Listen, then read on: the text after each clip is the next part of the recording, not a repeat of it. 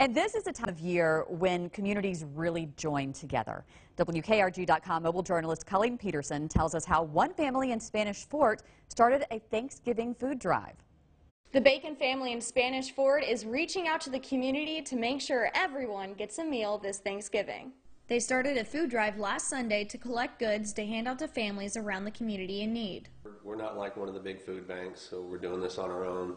And we started with our own money. Until a few posts on Facebook led to an outflow of support. It evolved into people giving donations, and we keep going back to the stores. It's been a really good response to the community for people that really stepped up and said, hey, we want to give.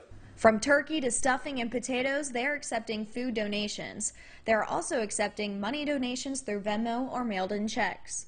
It feels great. I like to give back to the community. The Bacon family then delivers the food to the families that reached out to them on Facebook. And we were out to about 7 last night delivering packages.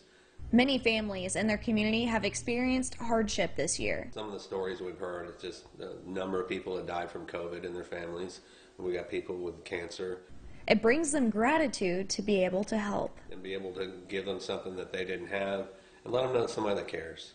If you know of a family in need this Thanksgiving, contact Rob Bacon on Facebook.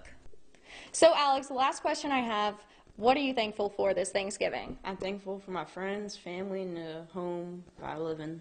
All right. Well, you can drop off donations throughout Thanksgiving Day to help feed the community. Reporting in Spanish Fort iMobile journalist Colleen Peterson alongside Alex with WKRG News, News 5. 5.